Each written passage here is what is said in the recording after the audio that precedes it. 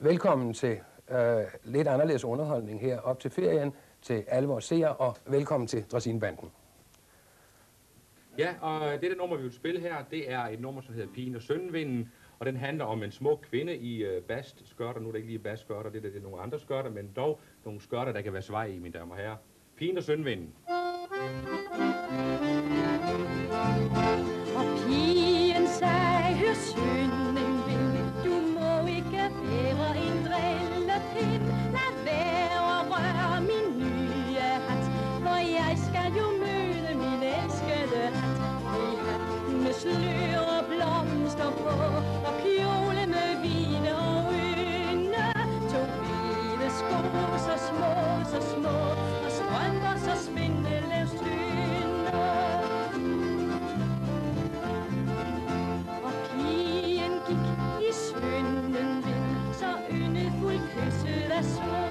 Solens skin, gik op og ned ad vor allé, som alle som boede der nu kunne se. En hat med slør og blomster på, og kjole med hvide øjne, to hvide sko, så små, så små, og strømper så spindelvævs tynde. Og pigen kom i søen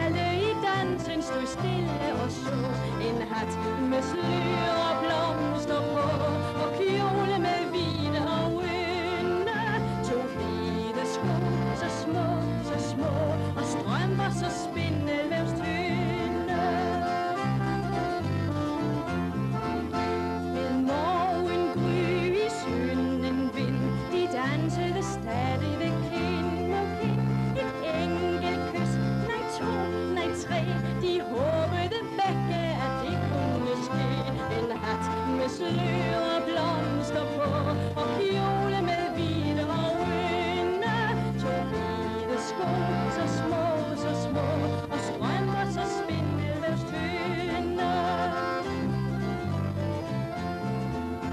og pigen sover trygt i ro. De drømmer, de danser, men nu de to i stuen